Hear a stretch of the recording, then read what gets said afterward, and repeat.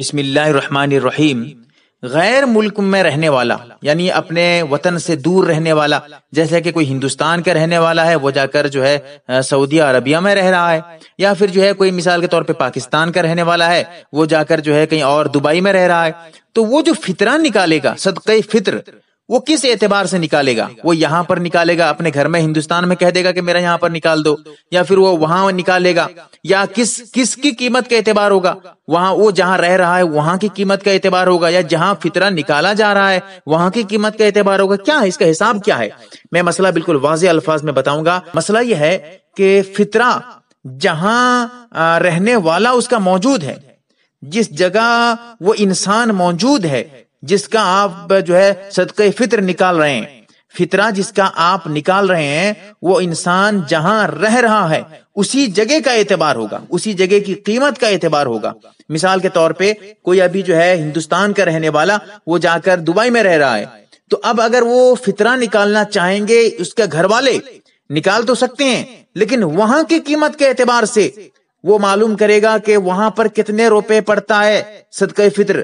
فطرہ کتنے روپے دبئی میں پڑے گا؟ کیونکہ دبئی میں رہ رہا ہے۔ اب دبئی میں جب قیمت معلوم کرے گا کہ مثال کے طور پہ اتنا روپے ہے، تو اسی روپے کے اعتبار سے ہندوستان میں بتائے گا کہ میرے نام سے اتنا روپے تم یہاں صدقہ فطر نکالو۔ میرے نام سے اتنا روپے فطرہ نکالو۔ اگر وہ وہاں نکال دیتا ہے اپنا، تو پھر ٹھیک ہے، کوئی بات نہیں ہے۔ یعنی بات یہ ہے کہ فطرہ جس کے نام سے نکالا جا رہا ہے، وہ انسان جس جگہ موجود ہے، اسی جگہ کی قیمت کا اعتبار ہوگا۔ یہاں پر اس کا اعتبار نہیں ہوگا کہ کہاں نکالا جا رہا ہے۔ پیسہ کس جگہ دیا جا رہا ہے؟ اس کا اعتبار نہیں۔ جس جگہ انسان موجود ہے، اسی جگہ کا اسی جگہ کی قیمت کا اعتبار ہوگا۔ مثال کے طور پہ، کوئی جو ہے امریکہ میں رہ رہا ہے۔ اب گھر والے اس کے ہندوستان میں ہے گھر والوں سے کہتا ہے کہ میرا فطرہ نکال دو۔ اب گھر والے جو فطرہ نکالیں گے، وہ ہندوستان میں جتنا روپے فطرہ ہوگا، اتنا نہیں نکالیں گے۔ بلکہ اس سے معلوم کریں گے کہ تمہارے وہاں پر کتنا روپے فطرہ ہے۔ وہاں پر جو اس کی مقدار ہے، وہاں پر کتنے روپے فطرہ پڑتا ہے امریکہ میں؟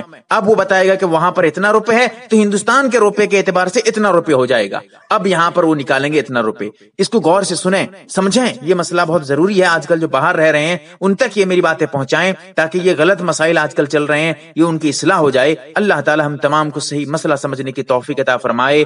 آمین یا رب العالمین۔ یم اے آر بی دینی معلومات چینل کو سبسکرائب کریں اور گھنٹی والے نشان کو ضرور دبائیں تاکہ ہم جب بھی نئی ویڈیو ڈالیں، وہ آپ تک پہنچ جائے۔ ویڈیو کو لائک اور شیئر ضرور کریں۔ واٹس اپ گروپ میں شامل ہونے کے لیے آپ اپنے واٹس اپ نمبر سے ایڈ لکھ کر میرے WhatsApp number eight nine zero eight nine three nine three four three کو میسج کریں۔